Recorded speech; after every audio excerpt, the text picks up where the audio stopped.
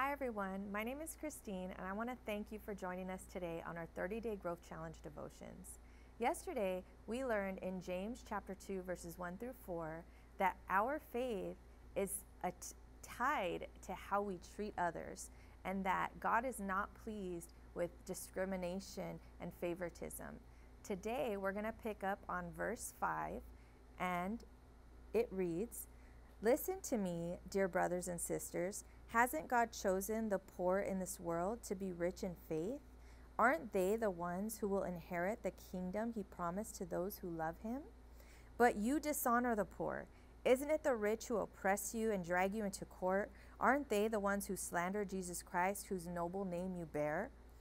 Yes, indeed, it is good when you obey the royal law found in the scriptures love your neighbor as yourself. But if you favor some people over others, you're committing a sin and you're guilty of breaking the law. So I want to share um, three insights that I received in this portion of scripture. Let's break down and start with verse 5, where he says, James is, is telling the church, Listen to me, dear brothers and sisters. Hasn't God chosen the poor in this world to be rich in faith? Aren't they, the poor, he's referring to, the ones who will inherit the kingdom he promised to those who love him? Insight number one one can be poor in this world, but yet truly be rich. How is this? See, God has chosen people who realize their need for Him to be rich in faith. This portion of scripture says that He's chosen the poor in this world to be rich in faith. See, the world's perspective of poor is having no money, no material possessions, but this is actually backwards. The kingdom perspective of poor is having no faith, no salvation, and no inheritance. See, the world's perspective of rich is money, material possessions, and success. But the kingdom perspective of rich is rich in faith, having an inheritance in the kingdom of God. See, there are things that are far more valuable than worldly possessions. There are things that money cannot buy.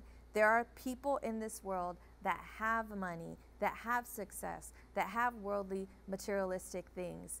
But there are things in their life that they don't have, which is lack of joy, lack of peace. Verse 5 goes on to say, Aren't they, referring to the poor, the ones who will inherit the kingdom he promised to those who love him? Because it's through faith that we become sons and daughters of God, and sons and daughters of, of God receive an inheritance. Matthew 6:10 Jesus taught us to pray, "Your kingdom come, your will be done on earth as it is in heaven." And the kingdom of God is our inheritance. And that's not an inheritance that we receive only when we make it to heaven. That's an inheritance we can receive here and now. This is how we become truly rich, rich in faith to receive our inheritance.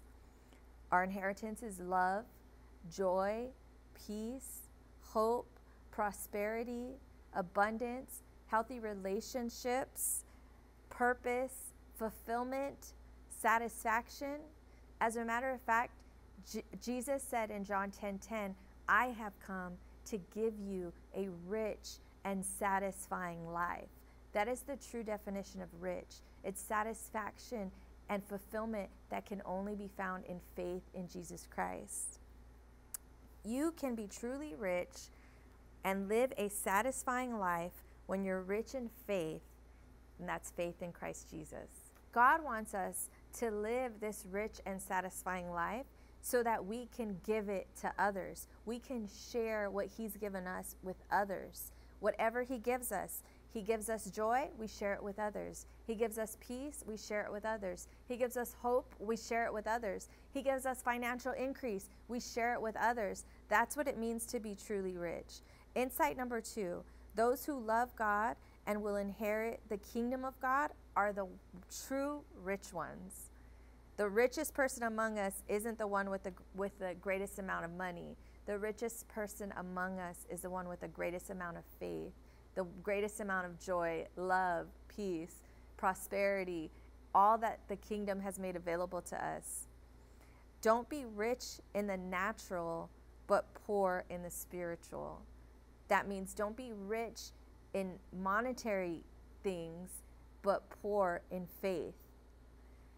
Matthew 16 26 says, For what will it profit a man if he gains the whole world, wealth, fame, success, but forfeits his soul? Or what will a man give in exchange for his soul? So let's continue. James continues his teaching in this portion of scripture, reprimanding on the topic of prejudice and discrimination. In light of this, let's continue looking at verse 6 through 9. Verse 6 But you dishonor the poor. Isn't it the rich who oppress you and drag you into court? Aren't they the ones who slander Jesus Christ, whose noble name you bear? Yes, indeed, it's good when you obey the royal law as found in the scriptures love your neighbor as yourself. But if you favor some people over others, you're committing sin and guilty of breaking the law. See, this is my third insight. It's really a question of introspection. Ask yourself, how do I see people? How do I see people? Do I see them the way that God sees them? Or do I see them the way that the world sees them? 1 Samuel 16, verse 7, God said, But the Lord said to Samuel, Do not look at his appearance or at his physical stature, because I have refused him. For the Lord does not see as man sees. For man looks at the outward appearance, but the Lord looks at the heart. I pray that this, this correction from James, this chastisement, makes us do some self inventory on how do we see others because the way that the world sees as rich is not what's truly rich and the way that the world sees as poor is not what's truly poor we have to make sure that we're seeing through God's perspective that we're valuing people the way that he values them may we live may we have God's heart and God's vision and see life through the perspective of the kingdom and not the world. I pray that you receive something from this devotional today, and let me pray a prayer of blessing over you. Father, I thank you for each person that is studying your word today, that you would continue to give us divine revelation, that you would show us, Father God, how to have your perspective, the perspective of the kingdom and not the physical, Lord. Let us love people and see people the way that you do, you do, Father God. Thank you for everything that you've showed us today. Continue to reveal your truths to us. In Jesus' mighty name we pray. Amen. Thank you and have a wonderful day.